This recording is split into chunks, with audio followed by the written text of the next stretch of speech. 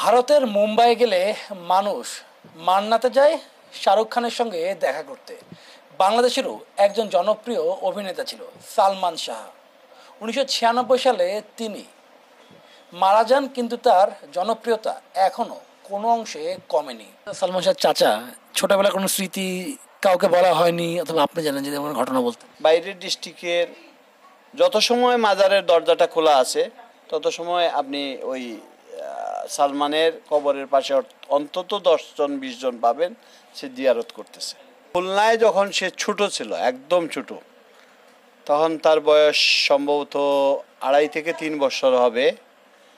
তখন আমার ভাই আসতেছিল সিলেটে, ফ্যামিলি নিয়ে। শুধু সালমানই ছিল তখন। তো ফজরের নামাজের পরেই রওনা দিছে যে সিলেটে আসবে বলে। ট্রেন ধরবে। এখন রিক্সাতে যখন আসছিল, রিক্সাতে আসার রাস্তায় হঠাৎ করে তিন চারজন ডাকাত ওই পাইপ দিয়ে রিক্সার ইয়েতে বাড়িয়ে দিছে। বলছে যে, রিক্সা বন্ধ করো।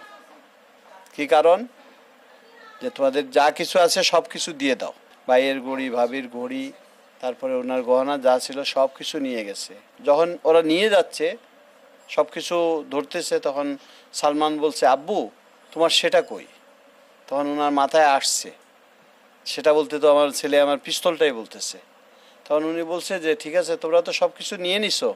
আমার কোনো আপত্তি নাই। আমার বাচ্চার দুধের বোতলটা দিয়ে যাও ফিডারটা দিয়ে যাও অন্তত।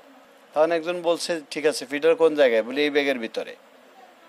তো এই ব্যাগের ভিতরে বলার সাথে সাথেই বলছে, ঠিক আছে, ব্যা- ব্যাগ থেকে ফিডার নিয়ে যাও তখন ভাইয়ের পিস্তল লোড করা ছিল ফুলে লোড করা ছিল। তখন ওই সাথে সাথে উনি পিস্তলটা নিছে নিয়েই উপরের দিকে ফায়ার করছে। ফায়ার করার সাথে সাথেই ওরা সব কিছু পালাইয়া মানে ফেলে চলে গেছে আর কি। ওদের আস্তানা পর্যন্ত উনি দৌড়ে গেছে।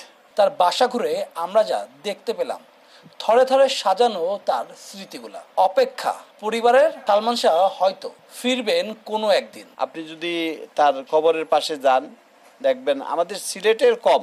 ওয়ালটন এয়ার কন্ডিশনার এক্সচেঞ্জ অফারে স্প্লিট এসিতে তেইশ হাজার টাকা পর্যন্ত নিশ্চিত ছাড়। মৃত্যুর আঠাশ বছর পরেও সালমান শাহর জনপ্রিয়তা এখনও কোনো অংশে কমেনি। এখনও কোনো ঈদ কিংবা কোনো উৎসব আসলে টিভি চ্যানেলে সালমান শাহর চলচ্চিত্র দেখানো হলে দর্শকরা অপেক্ষায় থাকেন। সালমান শাহর চলচ্চিত্র একবার দেখার জন্য।